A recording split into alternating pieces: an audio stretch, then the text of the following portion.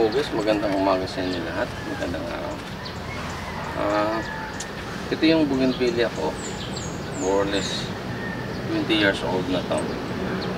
Ah, i-defoliate ko dahil pala kong gawing ah, whipping style na bonsai.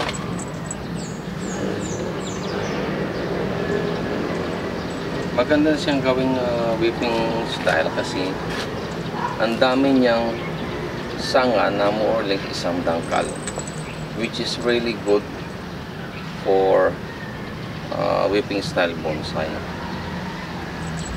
So umpisahan ko mag-defoliate and then later on after ma-defoliate iwawire ko